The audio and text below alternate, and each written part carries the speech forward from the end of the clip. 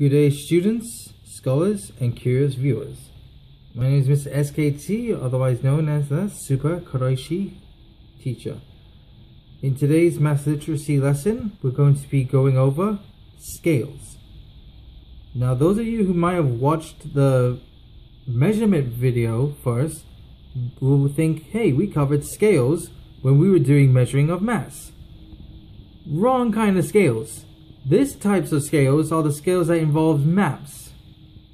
So, and the reason why this section tends to follow straight after measurement is because it's very closely related to measuring distance and length. So, with that, without the way, let's let's begin. So firstly, what is the purpose of the scale of a map? Maps are small representations of a larger area. The scale of a map is there to indicate to us the factor in which the represented area is larger than the map. So, so for instance, let's say someone decides to make a um, a map of Durban, a map of Durban or a map of whatever country or place that you come from and they made a quite a small map and they said like a scale factor times times 1000 so that means the map is 1000 times smaller than what the actual place is meant to be. So in other words Durban Durban or whatever country you are from would be 1000 times bigger than what the map shows that's an that's a quick example that I made up on the top of my head. But let's go into actually seeing how different scales um how the different scales are actually represented. In other words, how many different types of scales are there actually? There are two in terms of maths literacy, and that is the number scale or the ratio scale, and also the bar scale. How does each type of scale work? So this is where I got to do some drawing. So first we first we're going to look at the number scale. Over here I decided to make a map of a a star-shaped island. And on this island I made this map be at a 1 is to 100,000. That is how you read that ratio by the way. so what this means is 1 is to 100,000. That means one unit of measurement on this map will be equivalent or represents 100,000 of that same unit in real life. So if I measured one centimeter on this map, then in then on the actual real life, on the actual ground, that would represent 100,000 centimeters.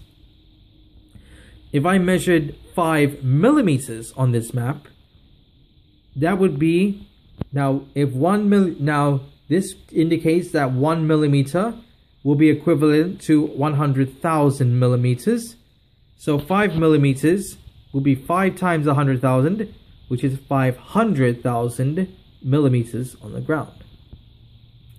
And that's how a number scale works. A bar scale, on the other hand, so this is my map of a circle looking island with two eyes. A and B. And that's and including a close-up of the bar scale that I made. So there are two different ways in which a bar scale can be used. So for instance, let's say you had to measure what like the distance between A and B. The first method is going to require your ruler. You place your ruler aside the scale. For my ruler, I'm going to be using this. I'm going to be using this because this is the only ruler that I could find here. I'm just having to shift this to my right hand, which is actually more difficult than I initially think. Okay, so what you do is, let's see, place ruler aside the scale, okay? Measure the length from the edge to the first interval. So in other words, from here to the 100, the 100 kilometers. That comes to, do not start going out of focus now. this comes to about one and a half notch, like three notches over there. So every time I see three notches measured on my on my um, map, that's going to represent 100 kilometers. And that's essentially how that's essentially the first method. Now going back to my left hand because that's so much more comfortable. The other method, which is probably the more the measure the method that you're more supposed to use, is let's say I use let's say I use these two points um, for my example, point A and point B. You measure measure the distance between point A and point B. So I can see that that's one, two, about three about three of the big uh, measurements over there. And then you take your ruler, and then you take your ruler and you measure out what three of those big measurements actually links up to on your scale. In this case, it links up to 200 kilometers. So that's so therefore the distance between A and B using your bar scale would indicate 200 kilometers. And that's how you use a bar scale. Thank you, thank you, Leatherman Ruler. You can go now.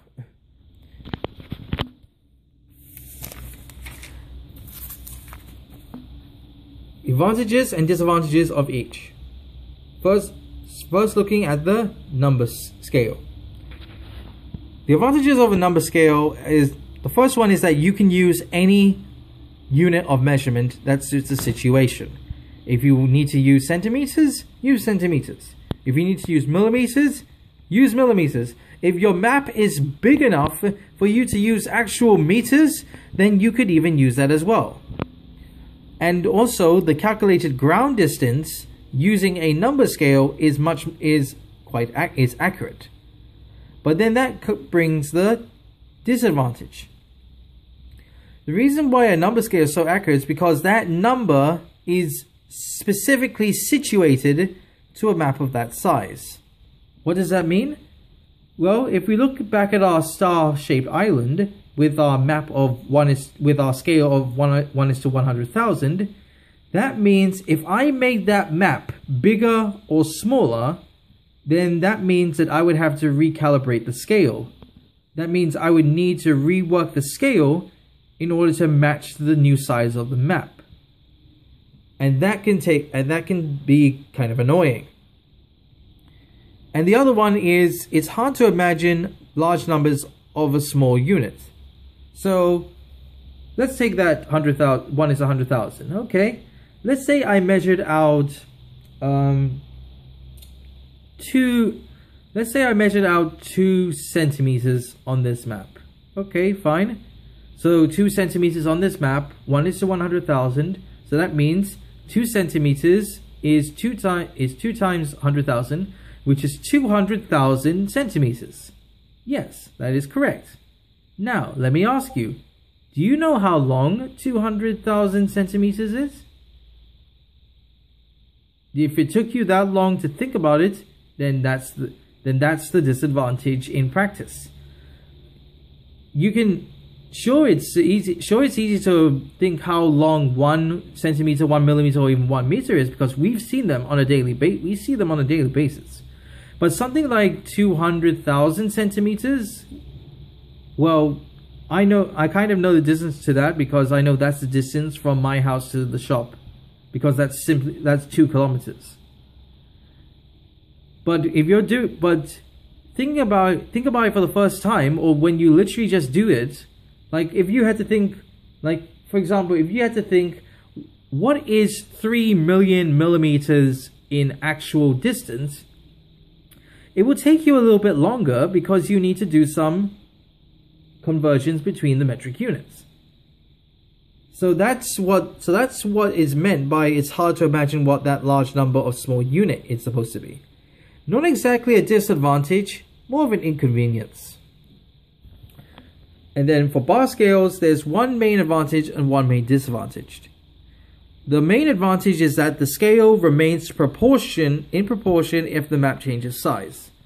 So if we go to our face-shaped map, if I make this map bigger or smaller, it doesn't matter because it doesn't matter because since that bar scale is on the actual map, if it gets bigger, the the bar scale is getting bigger along with it. If it goes smaller, the bar scale is going smaller along with it.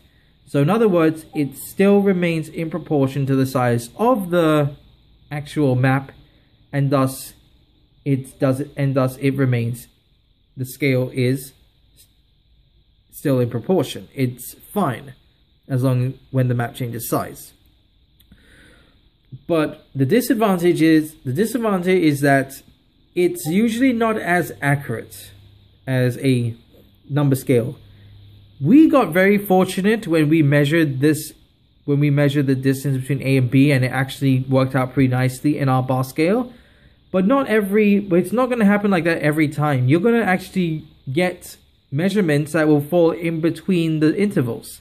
And they're not always going to have that grid like how I did. I mean, this is what an actual bar scale tends to look like. There's no in-between grids over there.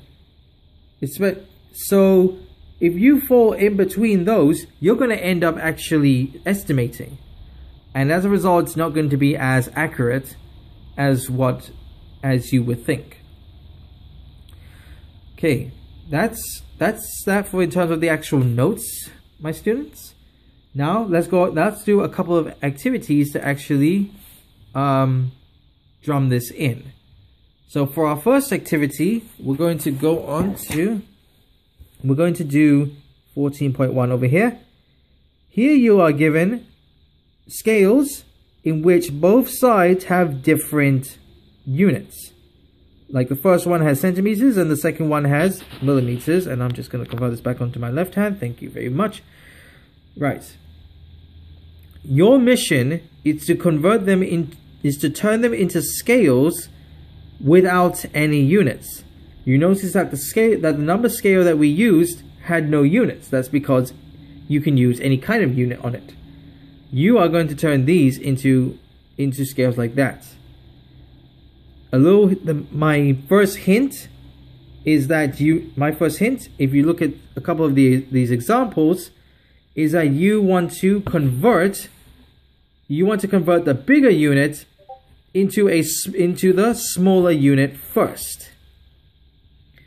Convert the bigger unit to smaller units and then you can divide. Right. With that being said, I will give you, if you wish to do this by yourself, I will give you, you have the opportunity to pause the video so you can do this in three, two, one. Okay. Let's do the correction. Let's do the correction for this.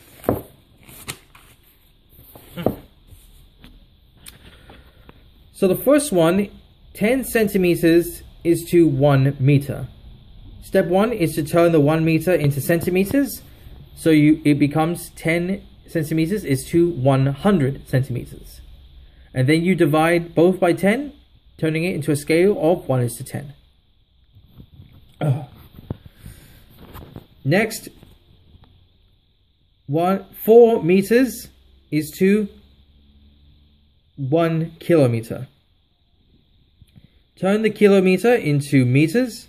So one kilometer is 1000 millim 1000 meters. So that becomes 4 is to 1000. Divide both by 4 and you end up with 1 is to 250. 160 meters is to 2 centimeters. Turn the meters into centimeters. There are 100 centimeters in 1 meter. So therefore that turns into 16,000 centimeters is to 2 centimeters. Divide both by 2 and you end up with 8,000 is to 1. 5 kilometers is to 25 millimeters. Turn the kilometers into millimeters kilometers into millimeters is a times by 1 million. So that's one, so that's 5 million millimeters is to 25 millimeters. Divide both by 25 and you end up with 200,000 is to 1. And then finally, 350 thousand millimeters is to 10 kilometers. Turn kilometers into millimeters, that's a times 1 million. So that's 350,000 is to 10 million. Then you keep dividing until you have it in its lowest form. So I can cancel cancel the four zeros on either side, and then you can divide the 35 and the 1000 by 5 to give you a final answer of 7 is to 200. We cannot go any further than that because we have to keep the scale in terms of whole numbers. There is a section that deals with that deals with decimals, but we are not going to do that in this lesson. So, with that being so that being said, that is that activity done. Now, let's do one more activity for this video. And that is 14.3 where the first question is ask the first question is asking you to essentially get the real measurements the between two streets on this map over here. As you can see, the scale of this map is 1 is to 15,000. So you are uh, so you are given the measurements in the question and you are required to get the actual distance in meters. The second question, fortunately, they give you the scale of 1 is to 325,000 and the distance between the two towns is 1.8 centimeters. What is the distance in in kilometers? Once again, if you would like to pause pause the video to you know so you can do this by yourself um, let me just look at show you that scale one more time for the first question you can now pause in three two one okay let's do the correction so the first one the this the measurement between the first two, the first two uh, streets, which was Old Mutual Road and Strand Street, was 3.3 centimeters. So the actual distance would be 3.3 times that scale, which is 15,000, which gives you 49,500 centimeters. But they want the distance in meters. So you are going to take that centimeters and turn it into meters to turn centimeters into meters, you divide by 100. This will give you 495 meters. The second one, 2 centimeters, that needs to be turned into meters. So 2 times the scale, which is 15,000, which will give you 30,000 centimeters. To turn centimeters into meters, divide by 100, which will give you 300 meters. Then we go into the second one, which in which the scale was 1 is to 325,000 and you had to get the, the actual measurement of the two towns in kilometers. The distance on the map was 1.8 centimeters. So 1.8 centimeters times 325,000 will give you 585,000 centimeters. To turn centimeters into kilometers, is a division by 100,000, meaning the actual distance in kilometers is 5,85 kilometers. If you if you like if you enjoyed this content, please leave a like, share and subscribe and please and please comment on what you like to see next. With that being said, have a nice day.